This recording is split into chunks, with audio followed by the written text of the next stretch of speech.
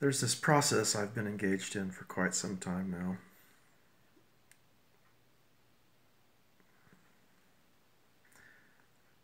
It begins with, or it began with, I'll say, I can, I can only speak of my own experience really. It began with observation. Just beginning to observe what's happening in this being, and then becoming curious about who it is that's doing the observing. Who is it that's watching this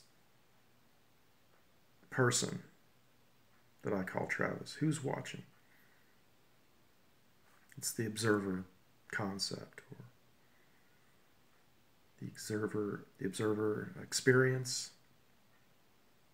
the I am, where we begin to understand or experience that part of our being who is just observing, who is just quiet and still and non judgmental about what's happening.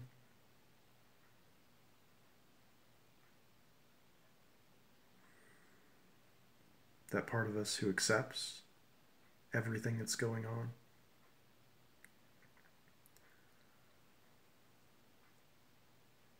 So, um,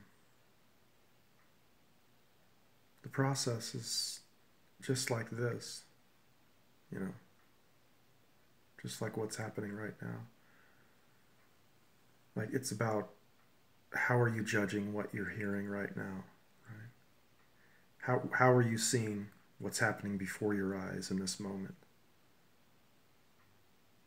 How am I observing and seeing what's going on.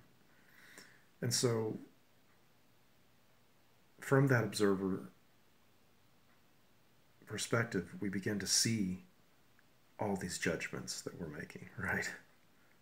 We begin to see all the dissonance that's happening. We begin to kind of understand that we are not those disturbances that we thought we were experiencing we get some space. We realize, oh, I am not my emotions. I am not my thoughts. I am something deeper. I am. Be still and know that I am God. Be still and know that I am. Be still and know. Be still. Be.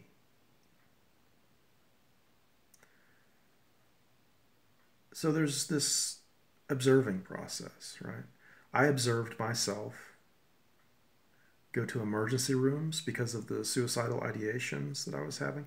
I observed myself um, on a gurney in an ambulance being transported to a psychiatric unit. I observed myself going to two mental health care facilities. I like to use these as examples because they're kind of like low points, and, and I mean, I guess low points where it's just like, whoa, I'm observing all of this happening right?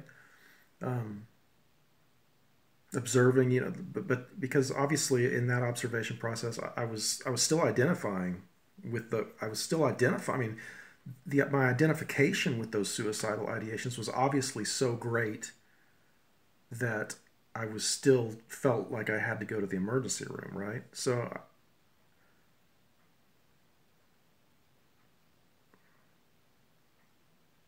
this is where it begins is with the observation.